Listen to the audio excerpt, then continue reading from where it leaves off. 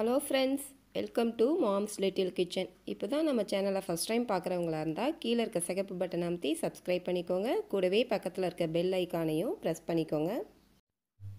இன்றைக்கி நம்ம வெஜிடபிள் குருமா எப்படி செய்கிறதுன்னு பார்க்கலாம். ரெஸ்டாரண்ட் ஸ்டைலில் நல்லா க்ரீமியாக டேஸ்ட்டாக இருக்கும். இது சப்பாத்திக்கு பரோட்டாவுக்கு இதெல்லாம் சைட் டிஷ்ஷாக சாப்பிட்றதுக்கு பூரிக்கு எல்லாம் சாப்பிட ரொம்ப டேஸ்ட்டாக இருக்கும். நம்ம ஹோட்டலில் வாங்கினோம்னா என்ன டேஸ்ட் இருக்குமோ அதே ருசியில் செய்யலாம். ஸ்கிப் பண்ணாமல் வீடியோவை கடைசி வரைக்கும் பாருங்கள் அப்போ தான் உங்களுக்கு டேஸ்ட்டு அதே மாதிரி வரும். அடுப்பில் ஒரு வானொலியை வச்சுக்கலாம். வச்சுட்டு எண்ணெய் ரெண்டு டேபிள் ஸ்பூன் அளவு எண்ணெயும் ஒரு டேபிள் ஸ்பூன் அளவு நெய்யும் விட்டுக்கோங்க. கொஞ்சம் அது மெல்ட் ஆனதுக்கப்புறம் பட்டை ரெண்டு துண்டு பட்டை போட்டுக்கலாம். கிராம்பு ஒரு நாலு கிராம்பு போட்டுக்கலாம். கூடவே ஏலக்காய் ரெண்டு ஏலக்காய் போட்டுக்கோங்க. மராட்டி மூக்கு பிரியாணி இலை சோம்பு ஒரு கால் ஸ்பூன் அளவு போட்டுக்கலாம். இப்போ இதெல்லாம் இந்த எண்ணெயிலையும் நெய்யிலையும் பொரியணும். இப்போது ஒரு பெரிய வெங்காயத்தை நீளமாக கட் பண்ணி வச்சுருக்கேன். கருவேப்பிலையும் கூடவே போட்டுக்கோங்க. அதை நல்லா வதக்கணும். வெங்காயம் நல்லா வதங்கணும் கொஞ்சம். போய் இந்த அளவுக்கு வதங்கினதுக்கு அப்புறம் இஞ்சி பூண்டு பேஸ்ட்டு ஒரு டேபிள் ஸ்பூன் அளவு போட்டுக்கலாம். இந்த இஞ்சி பூண்டு பேஸ்ட்டோட பச்சை வாசம் போகிற அளவுக்கு நல்லா வதக்கிக்கோங்க. நம்ம எவ்வளோக்கு எவ்வளோ வதக்குறோமோ அப்போ தான் டேஸ்ட்டு நல்லாயிருக்கும்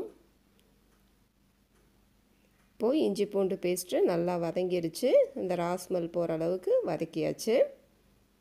இப்போது ஒரே ஒரு பச்சை மிளகாயை இந்த மாதிரி ரெண்டாக ஸ்ப்ளிட் பண்ணி வச்சுருக்கேன். அதை போட்டுக்கலாம். ஒரு தக்காளி கட் பண்ணி அதையும் போட்டுக்கலாம். எல்லாத்தையும் நல்லா மிக்ஸ் பண்ணி விடுங்க. தக்காளி வதங்கிறதுக்கு நம்ம கொஞ்சமாக உப்பு போட்டுக்கலாம். இந்த தக்காளிக்கு தகுந்த அளவு உப்பு போட்டு சிம்மில் வச்சுட்டு நம்ம மூடி வச்சோம்னா நல்லா அந்த தக்காளி மசிஞ்சு கொடுத்துரும். பாருங்கள் இப்போ தக்காளி நல்லா மசிஞ்சிருச்சு.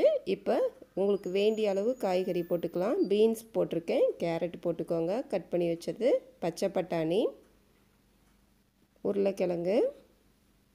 காலிஃப்ளவர் வந்து சுத்தம் பண்ணி வச்சுக்கோங்க. சுட தண்ணியில் உப்பும் போட்டு கொதிக்க வச்சு அதில் கழுவி எடுத்து வச்சுக்கோங்க காலிஃப்ளவரை. இப்போ இது எல்லாத்தையும் நல்லா மிக்ஸ் பண்ணி விடுங்க. காயெல்லாம் நல்லா மிக்ஸ் ஆகணும். இப்போது மிளகாய்த்தூள் போட்டுக்கலாம். ஒரு ஸ்பூன் அளவு மிளகாய்த்தூள் போட்டுக்கோங்க. இது காஷ்மீரி ரெட் சில்லி ரொம்ப காரம் இருக்காது. மல்லித்தூள் போட்டுக்கலாம். ஒன்றரை டேபிள் ஸ்பூன் அளவு மல்லித்தூள் போட்டுக்கோங்க. மஞ்சத்தூள் ஒரு கால் ஸ்பூன் அளவு போட்டுக்கலாம். கரம் மசாலா ஒரு அரை ஸ்பூன் போட்டுக்கலாம். உங்களுக்கு காரத்துக்கு தகுந்த மாதிரி போட்டுக்கோங்க. பச்சை மிளகா காரம் எப்படியோ உங்கள் மிளகாய்த்தூள் ரொம்ப காரமாக இருந்தால் கம்மி பண்ணிக்கலாம். பச்சை மிளகாய் வேறு போட்டிருக்கோம். அதனால் காரத்தை அட்ஜஸ்ட் பண்ணி போட்டுக்கோங்க. இப்போ இது கொஞ்ச நேரம் நல்லா அந்த பச்சை வாசம் போகிறதுக்கு கொஞ்சம் வதங்கட்டும். இப்போ வேண்டிய அளவு தண்ணி ஊற்றி அதை வேக வச்சுக்கலாம். நல்லா மிக்ஸ் பண்ணிவிட்டு உப்பு போட்டு வேக வச்சுக்கலாம்.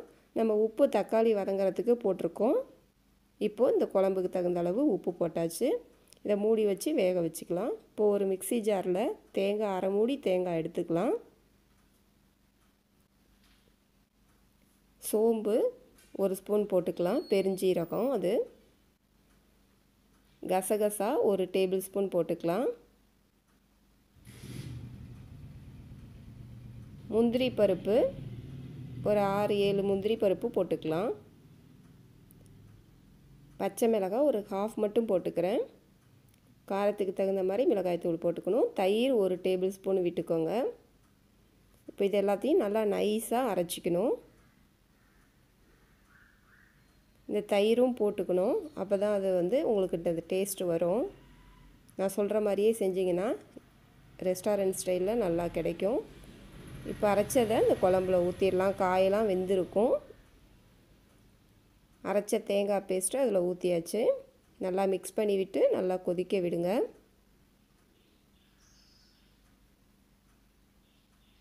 எல்லாம் ஒன்றோட ஒன்று நல்லா மிக்ஸ் ஆகி இருக்கும். நல்லா கொதிச்சிருச்சு. இப்போது அரை டம்ளர் பால் திக்கான பால் காய்ச்சி ஆற வச்ச பால் அந்த பாலை சேர்த்துக்கோங்க. இந்த தயிர் இந்த பால் இதெல்லாம் தான் சீக்ரெட் இன்க்ரீடியன்ஸ் சர்க்கரை ஒரு அரை ஸ்பூன் போட்டுக்கலாம். அது ஆப்ஷன் தான்.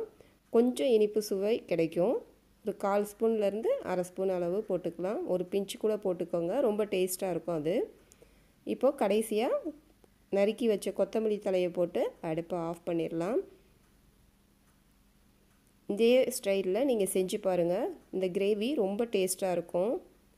இந்த குருமா ரொம்ப ருசியாக இருக்கும் சப்பாத்தியோட பரோட்டாவோட சாப்பிட்றதுக்கு. நம்ம சேனலை சப்ஸ்கிரைப் பண்ணலன்னா சப்ஸ்கிரைப் பண்ணிக்கோங்க. தேங்க்யூ